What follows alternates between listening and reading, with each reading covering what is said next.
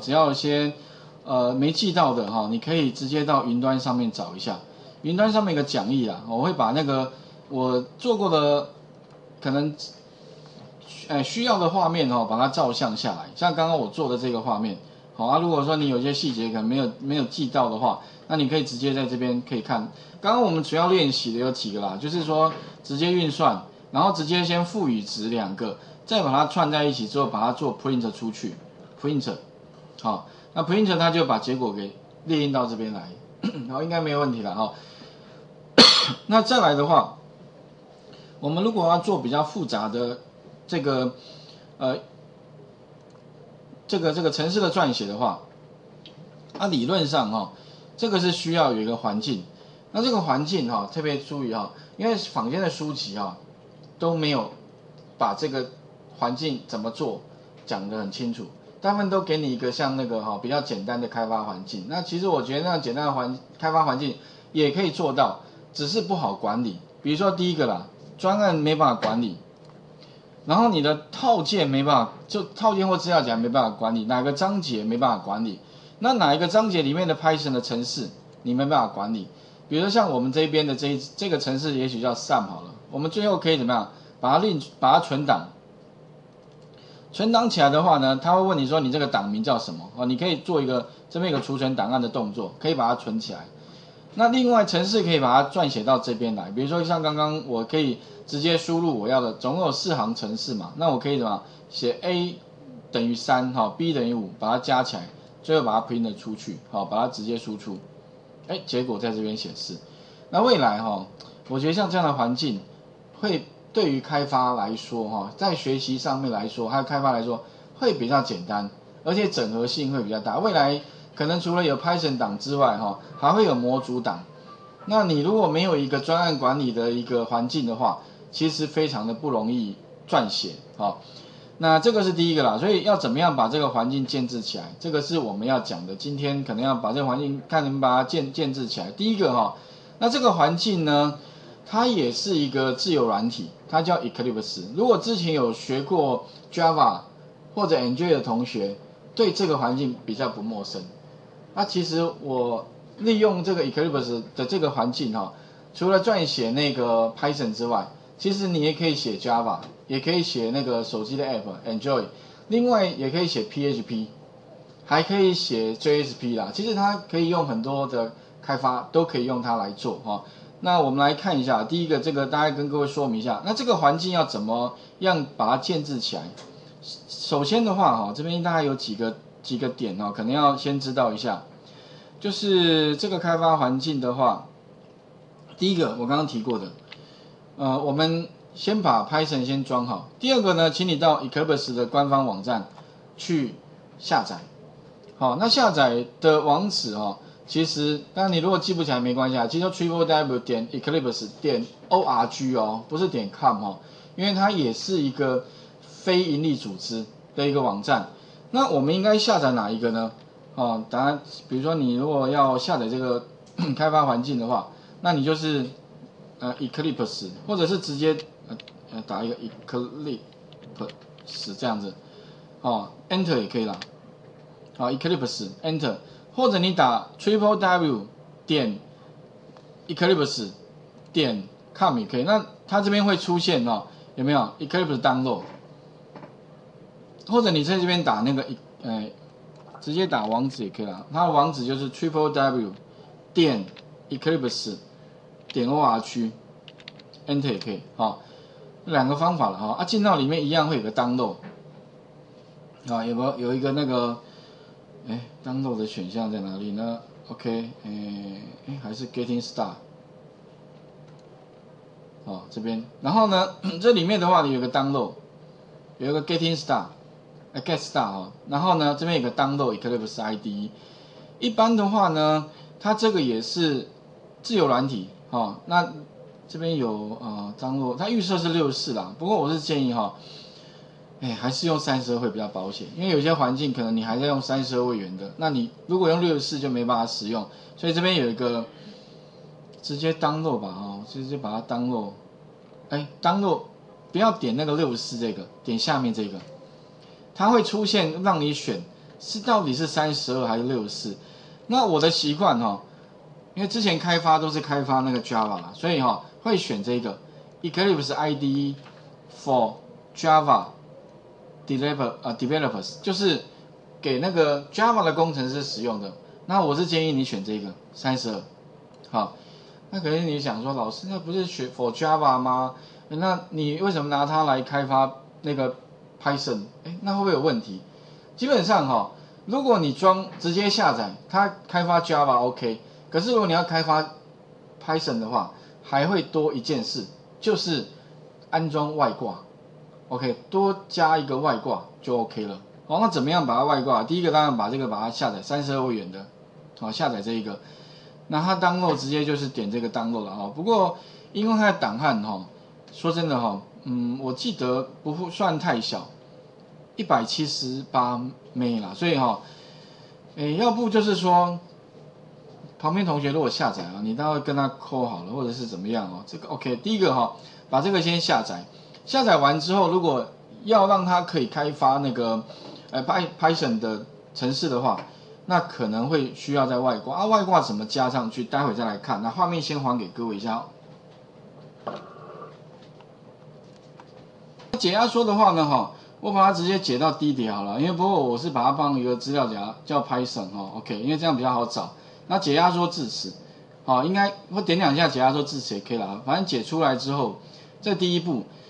那因为呢，它大概有一百多枚所以你解出来之后呢，哈。哎，它会要需要一点时间的。那待会的动作流程基本上哈，我们还需要做两件事情，我们就到了，我们就完成了。好，那希望今天当然可以很顺利的把这个环境建置起来，因为建置起来之后呢，后面呢你就可以 run 的很顺了。而且哈，这个 Eclipse 的环境不是只有使用 Python，我刚刚讲过了，很多啦，你要写 C 啊，写 Java 啦，好，然后你要写。什么东西啊？像 PHP 啊，好，或者是 JSP 哈，通通都可以在这个环境做程式撰写。那 VBA 我是没试过了，因为 VBA 已经够好了，不用跑到这里写。好，OK，好。那第二步的话就是说呢，我们会需要把它安装外挂，因为它本来是给 Java 用的。那如果你要给 Python 用，你必须要额外安装外挂。那安装外挂的方法就是一到 Help 里面。找到 install new software，OK。不过可能在这里会有同学说，老师，环境为什么是英文环境呢？好，有没有中文的？好像也有同学问了。不过好像也有有些地方好像蛮习惯用英文环境。但如果你要把它中文化，有中文化的方法，后面我们还会讲哦。如果你比较习惯，但我这边讲说你要安装，如果你要把 for Java 的改成 for Python，哈，你必须要一在这边，二的话呢？把那个网址这边下面有个网址嘛，把它复制贴到这个里面，add 贴上，OK，它就会找到外挂了。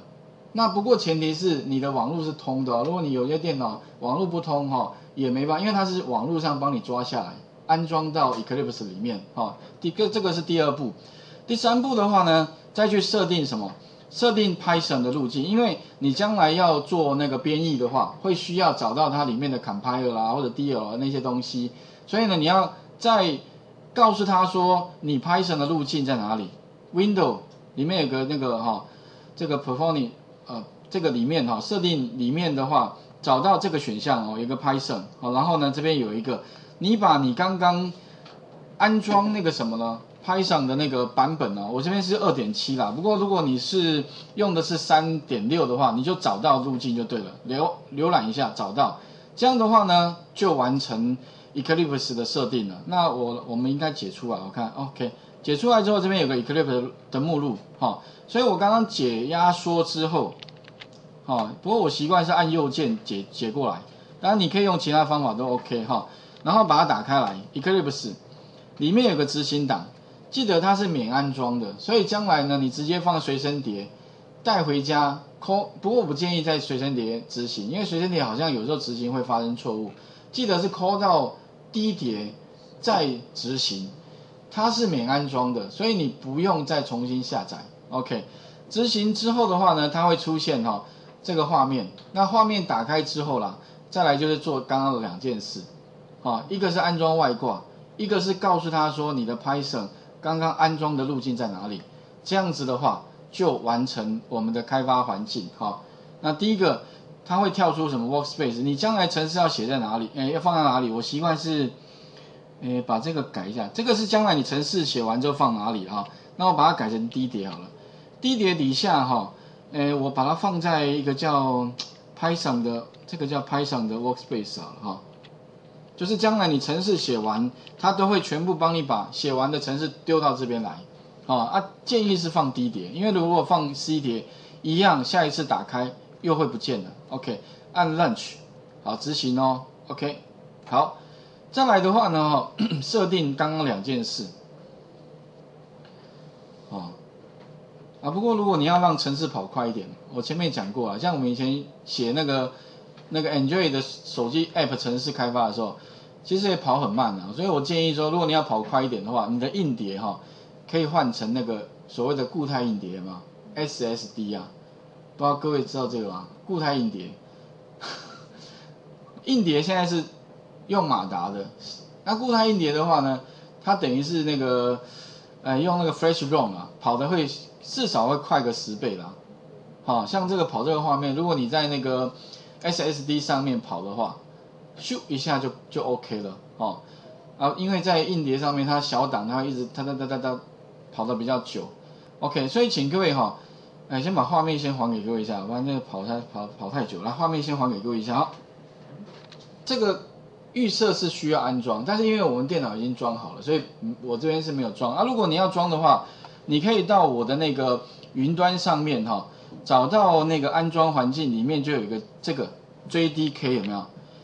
你可以去把它装，把它安装之后启动一个就没问题。好，这个顺便讲，因为刚刚有同学用自己的电脑会发生这个问题。啊，如果你回去用自己的电脑，可能也会发生这个问题，所以记得哈，先装这个，再开 Eclipse 就不会有问题了。